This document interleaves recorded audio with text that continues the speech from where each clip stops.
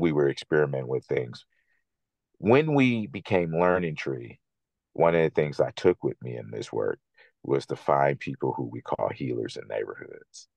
Mm-hmm. And mm. so I would go around and notice that people kind of threw parties.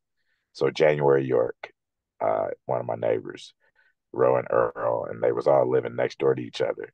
They would always have these gatherings, and we got a little grant, and we thought we would invest in what we call healers, and um, we did that, and then we invested in storytellers because I think people wouldn't believe that people threw parties in our neighborhood, right? So we need mm-hmm. to catch. In that, Rowan Earl and January came up with this idea called Open Bite Night. And it was this idea they were cooks and chefs, and they wanted to invite other people in their front yards, and they invited 35 people who were aspiring platers, right, to did plating.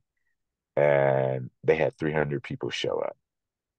We gave them 300 bucks, and they had 300 people show up to celebrate people, and that was the, one of the first.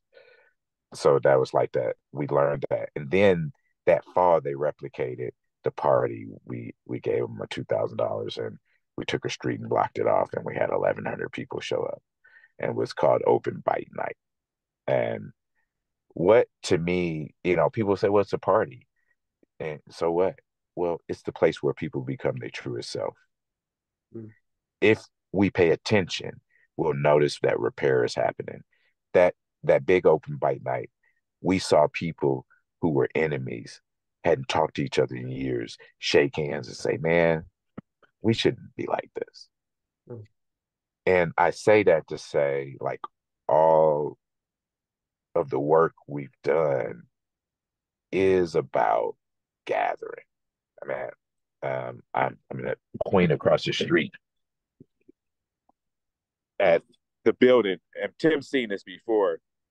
We talk about how, like, not only not only do we take the take it serious, uh, but people also got to see themselves celebrated.